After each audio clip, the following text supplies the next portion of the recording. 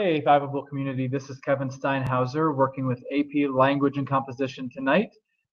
All right, so again, tonight's session is how to read the sources. Obviously, you're going to read the sources, but you've only got 15 minutes of recommended reading time, so we want to make sure that that time is really well spent. All right, so I'm going to take the first two minutes tonight looking at the expectations for a synthesis essay. Um, the last couple years, I have been an AP reader on the synthesis essay in particular. So I'm very well versed in the last couple years trends of what uh, students who are successful do, and also the traps that a lot of students fall into. What a lot of students do to write a three or a four essay on that one to nine rubric. So we want to make sure you're getting fives and higher. If you're shooting for a four or five on AP language, you really want to shoot for that seven, eight, nine range. Um, nines are very hard to get, so nine doesn't have to be your goal, but seven is a pretty reasonable goal if you are shooting for that five. All right, so with that in mind, the number one expectation here is that it is your argument. This is essentially an argumentative essay. The clear difference here is that you must use sources. So number two's expectation is the exact same as an argumentative essay. Your claims are clear. And I recommend making them clear through your thesis statement at the end of your introduction paragraph and in your topic sentences of your body paragraphs. So three cite a minimum of three different sources to support your claims. We'll talk about this more in depth in the coming weeks, uh, but a quick preview here. You will be provided, generally speaking, six, seven, or eight sources. And you should read through all six, seven, or eight sources. But you only need to cite three. So I actually recommend citing, I think the sweet spot's four sources. Um, now you can certainly do three and be very successful. You can certainly do five and be very successful. Now you, there's many, many ways to write an effective synthesis argument. However, I've seen a common trap where students think that they get like magic bonus points for citing or referencing or paraphrasing every single source. That is not the case at all. You are not penalized in the least by using three sources only. There's no bonus points. Uh, there's no secret pat on the backs for using more sources than your peers. It's all about how you use the sources. So that's a common misconception with synthesis. You, it, you do not get any reward for using more than three sources. It's all about how you use the sources you choose to use. So that's going to be very helpful. If you come across a source when you're like, I have no idea how to use it, that happens a lot with the the graphic or the cartoon or whatever they provide that's a visual aid or a visual source. If you don't know how to use that visual source, don't use the visual source. Use three at least that you're pretty confident in and how you can use it effectively. All right, so again, more of that to come, but I wanted to make sure that was very clear from the, the um, beginning tonight. All right, number four, make connections between the sources. In other words, if source A and C are talking about the exact same topic, use both of those in your body paragraph. See how they're connected. So you're making your claim, and then you're using multiple pieces of evidence from multiple different sources to support your claim. Again, we'll talk about general structure um, in the coming weeks, but I just wanted you, you to tonight, before we dive into the source uh, practice tonight of reading sources, I wanted you to know exactly what um, you essentially you want to do with the final product. All right, and five is another common question. The common question is, if I have background knowledge on the topic, how much of that should I put into the essay? So I've said you may connect your background knowledge. In fact, if you have background knowledge, I encourage you to include it in your essay with caution. The synthesis sources themselves should drive your support. So we'll talk about that more practically, more tangibly in the coming weeks when we talk about how to put together a body paragraph. But I'll just put it this way if you have some awesome background knowledge, either through your own experience or your or through different readings or studies that you've done, absolutely put them into your synthesis essay. But partner them with a source. Partner them with um, maybe source C. We'll talk about what I'm talking about here in a minute. So I've got source C, I've quoted, and then I say, hey, I've also seen this in my own life. And then you can do a couple sentences making source C practicable or practical to your reader by talking about it through your own lens. But it can't you can't go rogue and talk mainly about your own experiences and observations and research. It, it needs to be driven through the sources. All right, so tonight we're going to talk about the 15 minutes. That's what this live session is all about. You will have two hours and 15 minutes to write all three essays on exam day this May. So the way that your exam is going to work for AP Language, you will start off bright and early in the morning with 60 minutes for 55 multiple choice questions. That is worth 45% of your exam score. You have a quick little break. It's kind of a brain fresh. You just worked your butt off for an hour.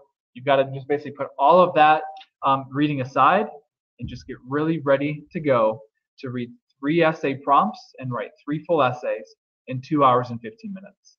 So the way that that calculates out, you have 15 minutes to read the prompts, and then you have 40 minutes to write each essay. So most College Board um, members and most teachers would recommend the way that I will recommend it here. Spend 15 minutes or so reading through just the synthesis essay. Write the synthesis essay. Usually that's going to go a little bit quicker than 40 minutes. Um, but let's just say for the sake of math, that takes you 40 minutes. That will give you 40 minutes to move into question two, the rhetorical analysis um, essay.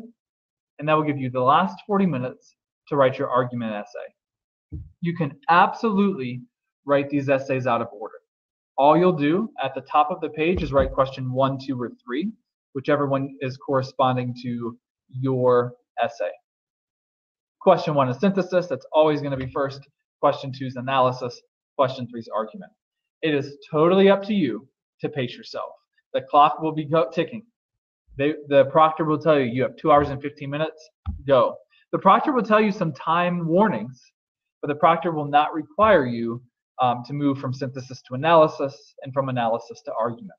So it's very important you don't get lost in one essay. You want to move at a very brisk pace.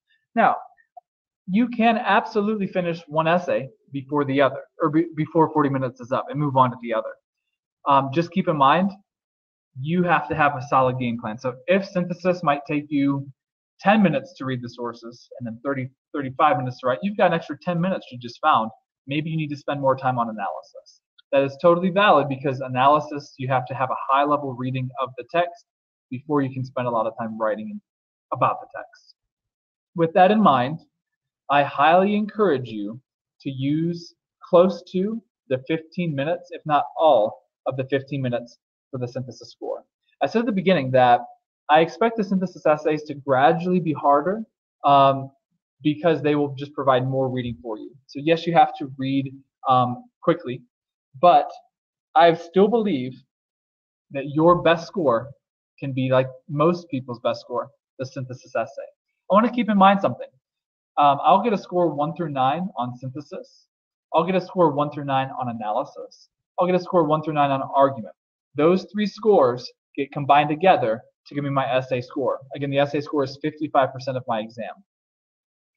If I if I can move my synthesis from a five to a six, that is just as impactful for my score than moving an analysis essay from a four to a five. So just keeping that in mind, we just want that big composite score.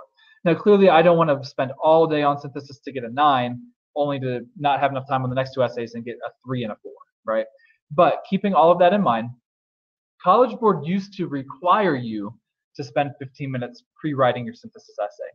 They gave you your synthesis sources. They said you have 15 minutes of reading time. The proctor said, okay, 15 minutes is up. You now may begin writing your essay. So you have two hours to write three essays. College Board um, changed that a couple years ago. And now you just have two hours and 15 minutes to, to plan um, and, and to write the synthesis scores actually have slightly dipped since that change because a lot of students rush into the writing. So don't rush into the writing. However, if you feel confident and it's been 13 minutes, absolutely take those extra two minutes um, and get a head start on your synthesis essay. Absolutely, you are expected to use two hours and 15 minutes to, to plan, to write, and to do any proofreading revision that you can for all three essays. If you are ending early, you are at a disadvantage. So make sure you, you are using every possible minute. Let's talk about how I recommend using the first 15 minutes of the exam. So first, uh, and this is all about synthesis. First, you're going to read the synthesis prompt page. It will always be the first page. It'll say question one, here's the synthesis prompt. We're going to talk about that for a couple minutes tonight of how to really effectively and quickly read through that page. Then, uh, quickly but effectively read and annotate each source.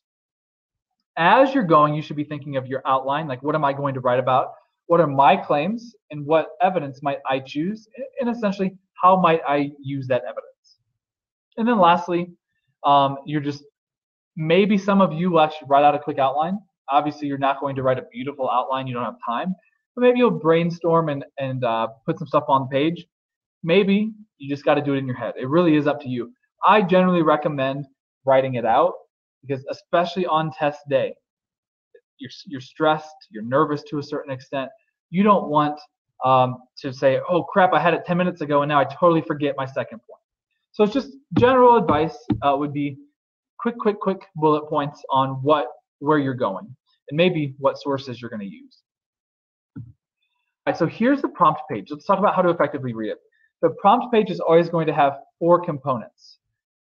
They might be in a different order, but we're going to look at this sample prompt from a few years ago about memorials. We're going to actually use this prompt for the next few weeks um, to look at how would I put this together, just so we're going, uh, we're streamlining the process here. If you stick with five Fiveable AP Lang sessions every Tuesday night, or if you're watching the replays, um, we're always going to be in this prompt for the next few weeks here. So the first component is background knowledge. And again, the components might be in a different order. They, they aren't super, super consistent with this. Uh, but this has generally been the trend the last few years. The first component will be background information about the topic you're going to choose to write an opinion about. Again, it has to be your own argument. So let's read the background knowledge from component one from this sample prompt. The need to memorialize events or people is complex. In some cases, monuments honor mo I'm sorry, monuments honor moments of great achievement, while in other cases, monuments pay homage to deep sacrifice. A monument's size, location, and materials are all considerations in planning and creating a memorial to the past. This is basically to stimulate your background knowledge or to provide background knowledge if you have very minimal on the topic. So, a quick note here College Board in general um, is setting out to give you a topic that you have not written an essay about before. So they're not going to be common hot button issues um, like immigration. They're not going to be common um, argumentative debate topics um, like the death penalty or abortion or things like that, or the legal age to drive or the legal age to drink. What it's going to be instead, they hope, is something that is a real issue in society, but one that is not a hot topic of debate. So here, for example, monuments are a real issue. They're a day, daily issue across the country and really across the world. But you probably haven't spent a ton of time debating it with your peers. That's the that's the sweet spot that College Board's looking for. Have you seen monuments? Yes, you probably have. Can you create an opinion about this in 40 minutes? Yes, you can. Will it be easy? Not necessarily. But they are going to be providing many sources uh, in which you can use to craft your opinion. Here's what I recommend, and I'm going to talk more about this in a minute. Have an opinion before you read the sources. That way, your reading time is better spent. You are looking for what agrees with you. You are not formulating your opinion on the fly. So we'll talk about um, how that's going to look in particular. So again, this component one, background info, is all about just providing some information that's going to be helpful to get you thinking about the topic today. Um, component two and in this flow is right in the middle. These will be three separate paragraphs on the prompt page. They're not going to label component two prompt. They'll have three separate paragraphs, uh, but this is essentially what this paragraph's function is. So here's the paragraph uh, that provides the prompt. Read the following seven sources carefully, including the introductory information for each source. Then, and I always encourage my students to underline the prompt just so I can quickly go back and reread that a couple times as I'm writing to make sure I'm still fully answering the question. It's especially important in the argument essay and in the synthesis essay. So then in a well-organized essay that synthesizes at least three of the sources for support, that phrase will never change. You will always have to synthesize at least three sources. Examine the factors a group or agency should consider in memorializing an event or person and in creating a monument. So I've got to talk about a couple things here. I've got to talk about the factors that are important. And I've got to talk about um, not just considering who's memorialized and what's memorialized, but also the creation of the monument itself. All right, and then these are uh, component three. These directions are almost every year word for word, but they're always going to have it. I recommend taking the 10 seconds it takes to read them to ground yourself and to mentally prepare yourself for doing synthesis the right way. So I call these generic synthesis directions because no matter the topic, you're going to see something pretty close to this. Make sure your argument is central. I'm going to say it again. Make sure your argument is central. So many students think that synthesis should be a summary. We are not looking for um, the correct answer. We're looking for an effective argument. So let's keep reading. Use the sources to illustrate and support your reasoning. Avoid merely summarizing the sources. If you just summarize sources, you will probably get a one, two, or three on this exam, on this synthesis essay. Indicate clearly which sources you are drawing from, whether through direct quotation, paraphrase, or summary. You may cite the sources as source A or source B, etc., or by using the descriptions in parentheses. I'll show you um, what that is talking about in a second. In, in future weeks, we'll spend some time saying this is exactly how you grammatically cite the sources. Uh, we just want to make sure we do it the right way. And we also want to make sure we cite them clearly so we get credit for citing three different sources minimum. Um, I have read thousands of synthesis essays. I have very, very rarely read a synthesis essay in which the student does not cite three different sources. So most people are doing this the right way. Just make sure you are as well. If you do not cite three sources, if you do not use at least three sources as support, the highest essay you can get is a four. The highest score you can get is a four. This is the final component, and this will always be last. It'll be at the end of the page. It will look exactly like this. It will say source A, and then it will put in parentheses what you can call the source when you cite it. So you might say, according to Savage, comma, and then cite your source, or Savage says blank, or you might paraphrase Savage, and then in parentheses, you'll say Savage, period, or source A period. In, in essence, there's no right or wrong way to do it. In a, in a few weeks, I will talk about writing style and the nuance of synthesis writing in terms of citations. But for today, there's technically no right or wrong way.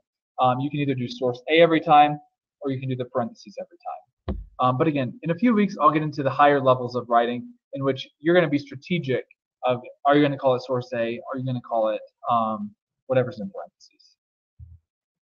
All right. Before you flip the prompt page, take a minute, maybe less than a minute, but quick, quick, quick, brainstorm your ideas. So here, let's go back to the what I underlined, the prompt. Examine the factors a group or agency should consider in memorializing an event or person and in creating a monument. So here, I have to identify the factors. So here's why I want you to identify your own factors or whatever um, it's asking you to do, your own opinion and ideas about the topic before flipping the page. If you flip the page, you're going to see some very effective writing through sources A, B, C, D, E, F.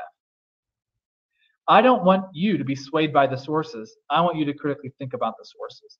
So if you're still developing your own opinion about it, about the topic, um, it's very easy to say, oh, wow, source A totally right. I totally agree with them. And then go to source B. Source B completely disagrees with source A, let's say, and say, wow, source B is making some good points too. Now I don't know what to believe. So that's very common and that's very um, much a trap of the prompt. Don't let the sources drive your opinion. Your opinion drives your use of the sources. So in this case, I'm just going to take 10 seconds, uh, 15 seconds, 20 seconds to jot this list down. Now, these are the first things that come to my mind. These might not be what I ultimately use. I'm probably only going to I'm probably only going to use a couple of these on my actual essay, But I've got cost is a, is a major factor, location, public perception, the environmental impact, and the economic impact of creating memorials and monuments. Now, what I do is start reading the sources and see which sources line up with mine. Guys, if if let's say I, I'm really passionate about about location, but no source really gives me much to work with, cross it out. I'm gonna choose something different to write about. Likewise, if I'm like, okay, I thought of public perception, I'm not really passionate about it, but if three or four sources give me something to work with and I really can go somewhere with it, absolutely use it. So you obviously want to have more possible claims because here's here would be my claims, right? Cost is an important factor, location is an important factor, um, etc. So these are my claims, these are my factors. I want to have more than I would have to ultimately use because then I'm going to be able to let the sources guide me narrowing down my topic. Again, let me be clear here. The sources are not narrowing down your ideas. The sources are narrowing down um, the support that I can use or the way that I can express my ideas. I hope that's clear. Um, basically, what I'm getting at here is know your opinion, but let the sources tweak your claims. In other words, let the sources tweak what you're going to write about. Write about what the sources that allow you to write about very effectively. While you read, let's say you're going to take the next 10 to 12 minutes reading and annotating the sources. I want you to quickly, carefully read, but I also want you to annotate. Annotate synthesis sources. You've heard me say this all year if you've been part of Fiveable. Annotate to save you time and to make sure you're reading at a high level of each source. Now you want to do this quickly. You're not going to write. You're not going to write huge um, like paraphrases in the margins here, but you are going to make some notes to yourself to save time for later, especially when it comes to okay, out of all seven sources I have, which ones am I going to cite? in my own essay. All right, so start narrowing down your focus um, as you read. Here's how I recommend that you annotate during synthesis. Underline phrases that you might quote in your essay. They don't have to be full sentences. Maybe it's just a power word, maybe it's a power phrase. I'll show you some models of that here tonight. Again, I don't have time to reread an entire synthesis essay. I I, annotations is so crucial here because you are literally going to be quoting from multiple sources. I don't have time to say, oh crap, I think it's in source A, but I don't remember where it is. Underline the stuff you might go back to. Now, for some prompts, you're going to write an A for every time you agree and a D for every time you disagree. That's what I recommend. That's just going to, again, narrow down what out of all the sources might you actually reference in your essay. However, there, there might be a prompt like the one um, from tonight where it asks you to consider factors. So instead, and this is what I'll model through tonight for a few sources, write the factor being addressed in the margin. If I, let's go back to my factor. If I see cost, I'm just going to write, underline a phrase and write cost. If I see location, I'm going to write location. Uh, that's just going to help me narrow down what I'm going to talk about. If I only write cost one time throughout seven sources, I'm probably not going to use it. I want to look for something that the sources give me room to play with and room to work with. Okay, we're going to practice a few prompts tonight. I want to always start with looking at the box that they call the source information at the beginning. Take always 10 seconds to read it and um, the italic one sentence most likely immediately below it. This is what College Board provides. So the first is a citation. So the way to read this and it's important that you all can read this because A, it just makes synthesis go quick. You don't have to spend time thinking about what these pieces are. But B, you will probably get some questions on multiple choice this year um, that are just asking you to break down citation information. So what we've got here, um, this is the author, Lawrence Downes. This is the title of the work, Waiting for Crazy Horse. It was published in the New York Times. This is again the publisher. And this is the date, now, it was republished on the internet on December 20th, 2010. If this wasn't here, it would just have been a print magazine, right? So if you see two dates, the first one's when it was in print, the second one's when it was on the internet. The following is excerpted from an online opinion article published in a major newspaper. This is important to look at very, very quickly just to ground yourself. Start thinking, is there bias in the article or not? It's unclear if there's going to be bias. And also, how credible is this? Um, the more credible the source, uh, the least you might be able to detect the flaws in the source. So synthesis, you might actually be able to address the counter argument by citing a source and saying, this is why the source is wrong. This is why, yeah, source C has a point, but source C didn't think of the big picture. So we'll get more specific and tangible in the coming weeks when I'm actually writing uh, what I'm looking at. But for now, let's just focus on a high level reading in preparation of writing this essay. So each slide is going to look like this uh, for each source. I'm going to tell you what I would underline, and I'm going to um, just jot down the factors that I see. So we're going to quickly go through source C.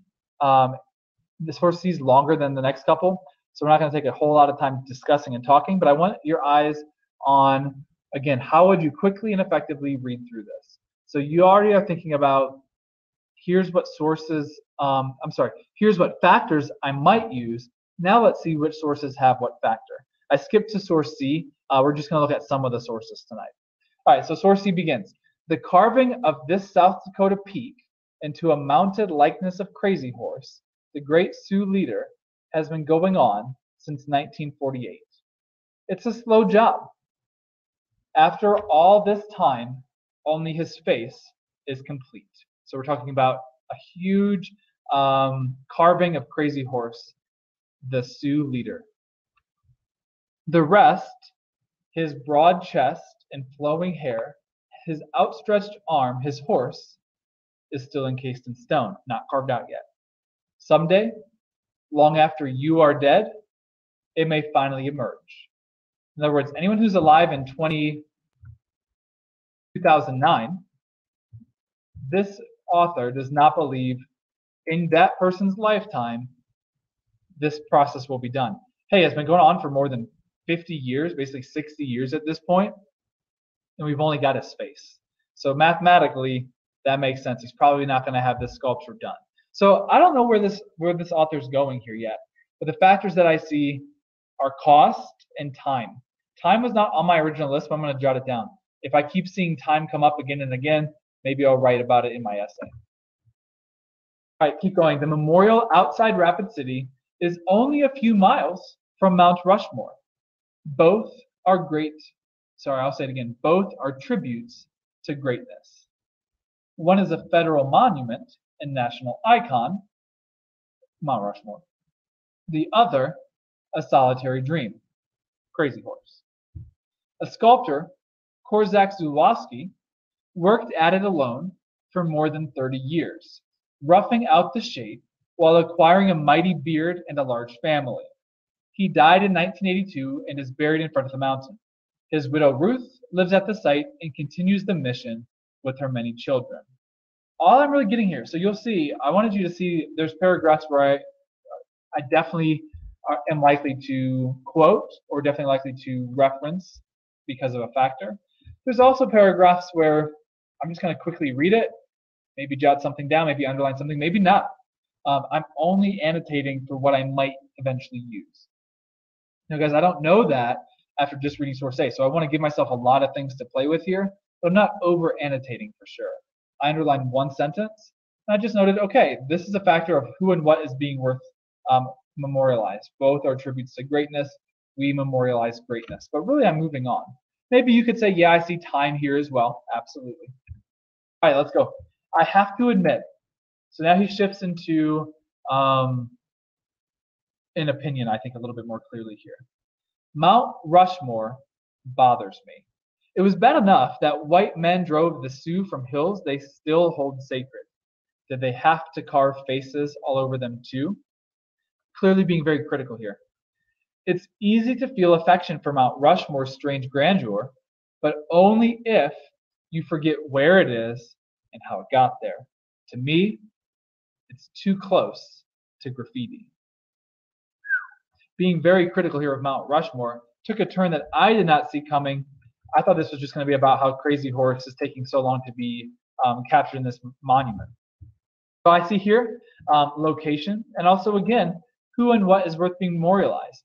And I think I'm tying these two things together in my head Was it worth memorializing four American presidents on Native American sacred land? That's the question that the author is making you ask. All right, we're going to keep reading source C. The Crazy Horse Memorial has some of the same problems. This is interesting. As I'm reading, I'm just quickly thinking, what are the problems? Because they're memorializing a Native American leader on Native American land. But let's read. Let's see where he goes here. It is most definitely an unnatural landmark. Okay, so that's the problem that he's identifying the fact that it's an unnatural landmark on sacred lands. Some of the Indians I met in South Dakota voiced their own misgivings, starting with the fact that it presumes to depict a proud man who was never captured in a photograph or drawn from life. In other words, we have no photographic or artistic renderings of Crazy Horse. How are we going to make a sculpture out of him? Um, so locations that I see are societal perception as well as location. Societal perception, um, for this, it doesn't have to mean society at large, everybody, but just parts of society. So the Native American population might have misgivings about the location and the um, unnatural landmark itself. So that's the society that I'm thinking of here. It's their land. Right. Kelly Looking Horse, a Sioux artist I talked with as he sewed a skin drum at Mount Rushmore, said there were probably better ways to help Indians than a big statue. So again, some cynicism coming in here, or some criticism at least. He also grumbled that many of the crafts for sale at the memorial were made by South Americans and Navajos and sold to people who wouldn't know the difference among Indian tribes or care. Leatrice Chick Big Crow, who runs a Boys and Girls Club at the Pine Ridge Reservation, said she thought the memorial was one of those things that could go on swallowing money and effort forever. That definitely is coming back into cost. Um, I also see time in this paragraph as well, as well as continued societal perceptions, specifically thinking of the Native American society. So nothing new here, just more of the same factors, but some good evidence that I can still pick out potentially.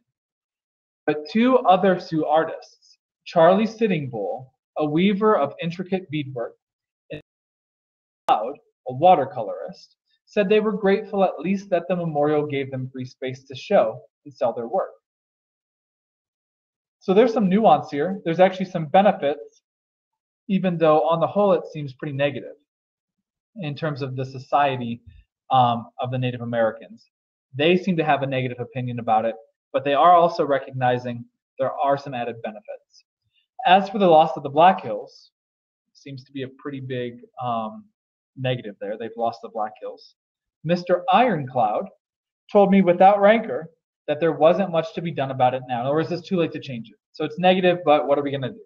So I'm still thinking location, thinking cost, I'm thinking the perceptions of the Native Americans. Looking up at the mountain in the golden light of late afternoon, it was hard not to be impressed, even moved, by this effort to honor the memory of a people this country once tried mightily to erase. So clearly here we're talking about the Crazy Horse statue. We're honoring a Native American legend. I came away reminded that eternity is not always or not on our side.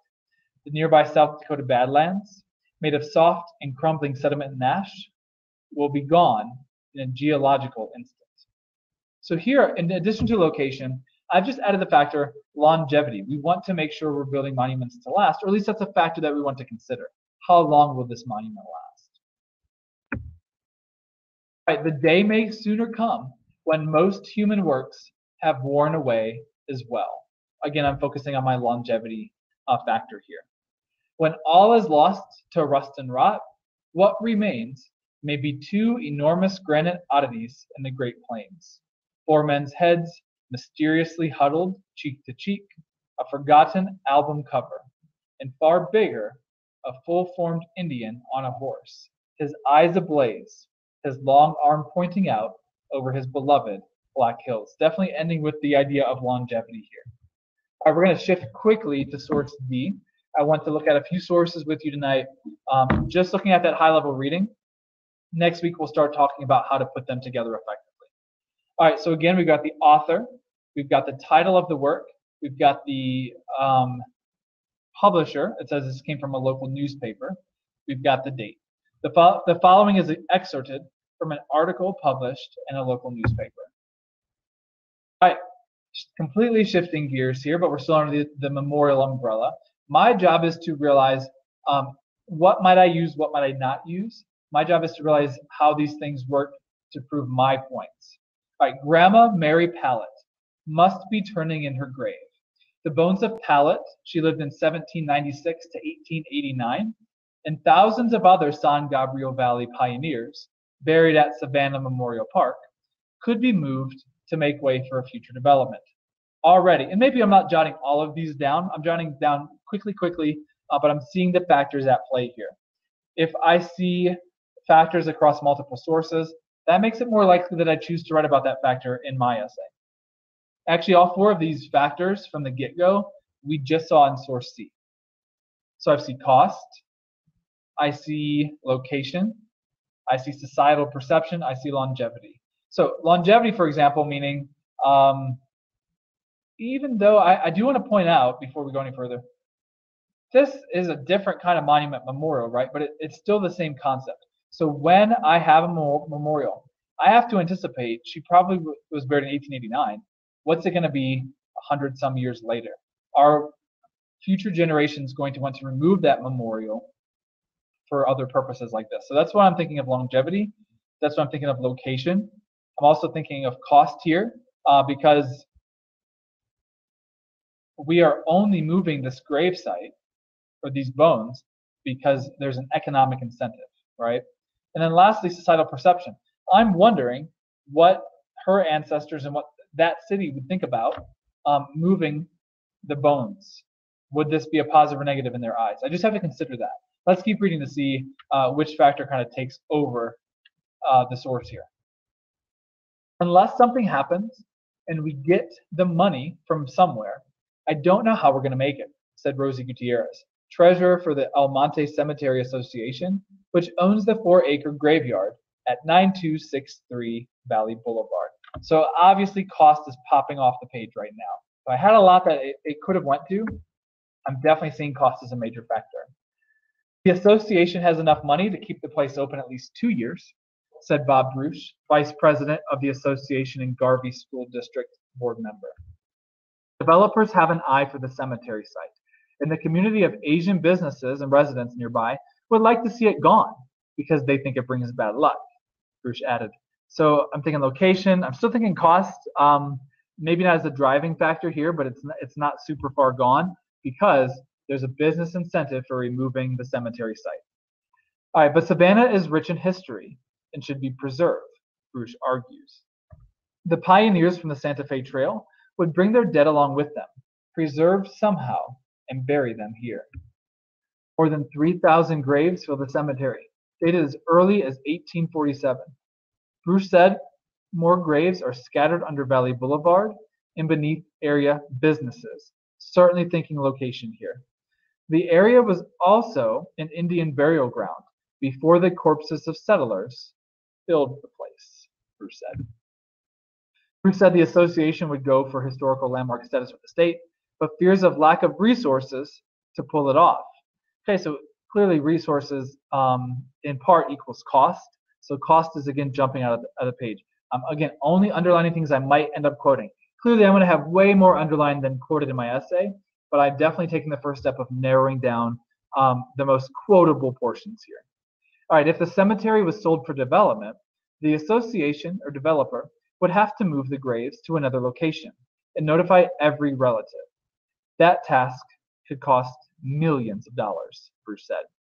The association has about 200 more plots it could sell for $1,000 apiece, but it would not bring enough cash to keep Savannah running, Gutierrez said. I don't know what the solution is, I really don't, Gutierrez said. It's going to take a city like Rosemead to take care of it. Moving to source E, um, source D the main factors I saw were location and cost. I'm moving quickly because I want to get through four sources with you tonight. Uh, this is four of the seven sources um, that was provided for this prompt. All right, so we got the author, we've got the title, we've got the publisher, which is a website, and we've got the date. The following is excerpted from an article published on a website for freelance writers and journalists. So the reason why we must have two um, dates here is it was published twice. So that, that's what we've got um, as our takeaway here. Let's go ahead and start. It had to be done, but is the mall in Washington, D.C. the proper place, so I'm thinking location, for a museum that is dedicated to victims and survivors of the Holocaust? It is not surprising that immediate and intense controversy erupted when plans were publicized to build a Holocaust museum on the mall in Washington, D.C.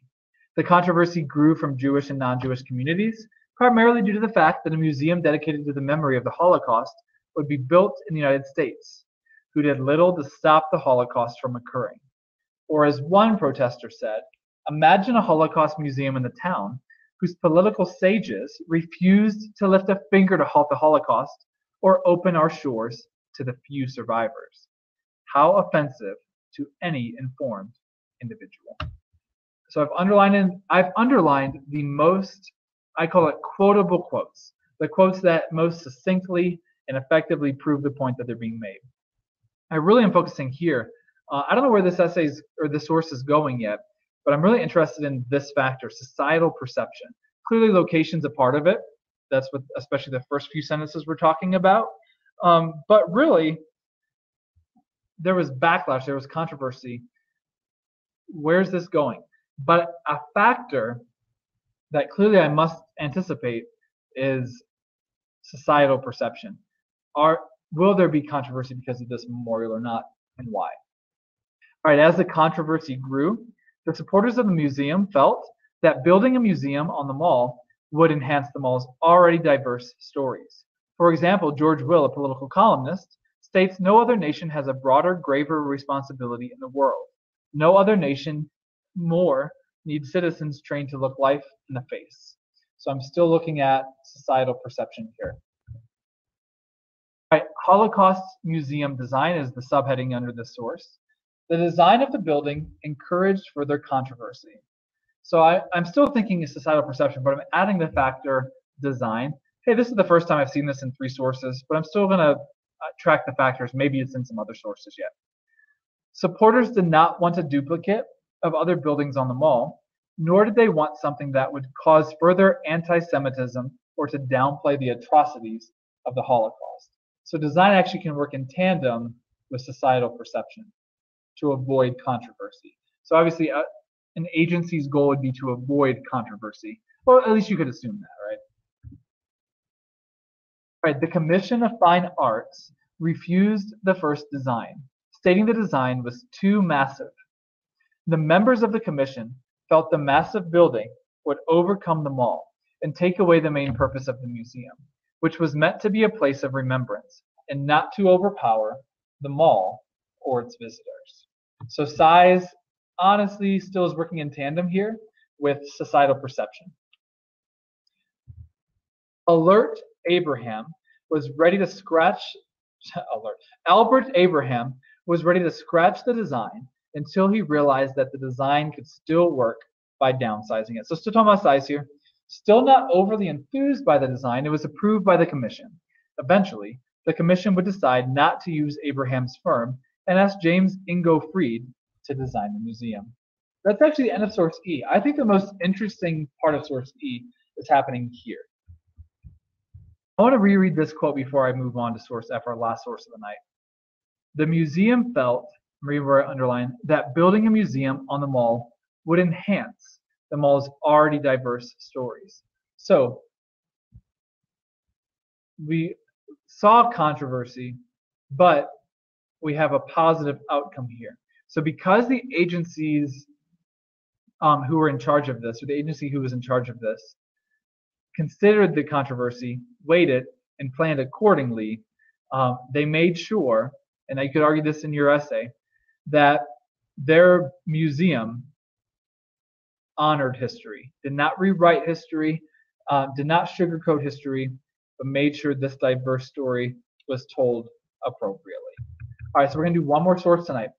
Why I wanted to choose source C, E, D, and F is so you can get a good sense of synthesis. Synthesis um, has seven, to, six, seven, or eight sources that all apply to the topic but you want to make connections between the two, but the connections most of the time will not be super obvious. Sometimes they will. In fact, some sometimes source C might reference explicitly back to source A, but that is rare. What's not rare is something like you'll see here, a throwaway source which most people do not use effectively. Again, don't use a source if you don't know how you want to use it. But let's end the night looking at source F before we wrap up. We've got our title, we've got our um, publisher, and we've got our date. This was from 2010. The following is an entry in an online guide to offbeat tourist attractions. Not nearly as important probably as source C, um, D, and E, but let's take it a read and let's see if we might use it in our essay.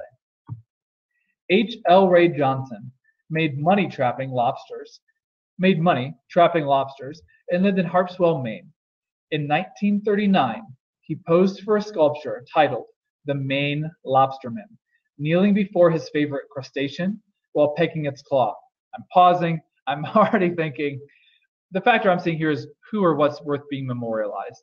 Um, you might be able to argue that a lobsterman in 1939 is worth being memorialized, but you might say, why did this guy get memorialized? How did that happen? The sculpture was supposed to be cast in bronze and made part of the Maine exhibit at the 1939 New York World's Fair. But Maine ran out of money, so I'm thinking cost immediately. So the artist just slapped a coat of bronze paint over the plaster model and shipped it to New York. After the fair ended, the fake bronze statue returned to Maine and spent several decades being moved from City Hall to museum to museum. No one seemed to want the man and his lobster. I'm underlining that. That's a great quotable quote if I choose to use this source at all. Again, who or what is worth being memorialized? No one wanted this random lobster man. It's even worse. The statue was vandalized, repaired, and ended up being in a warehouse where it was eaten by rats. It wasn't until poor H. Elroy Johnson died that a bronze cast was finally made of the statue, and eight years after that, 1981, it was moved to Washington, D.C., and dedicated in 1983.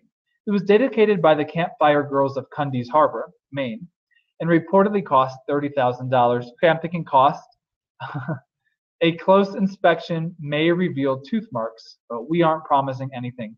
So again, this is an offbeat um, tourist attraction guide. So they're saying, yeah, go check this out. It's this really random uh, sculpture that was once eaten by rats. Something in cost, but really here I'm thinking, what's worth being memorialized? If you memorialize and go into the effort of memorializing something that nobody cares about, look what might happen. All right, here's our final reminders tonight. So synthesis is all about your own argument. Therefore, I want you to drive your reading of the sources. I don't want them driving your ideas. Now, you again, be clear. This, there's some nuance here.